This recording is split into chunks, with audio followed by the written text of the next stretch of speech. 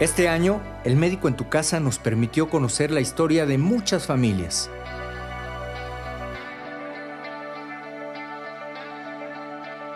Familias que hoy están mejor atendidas. En el gobierno de la Ciudad de México llevamos salud a la puerta de tu hogar. Esto es Capital Social. Por ti. Miguel Ángel Mancera, tercer informe de gobierno.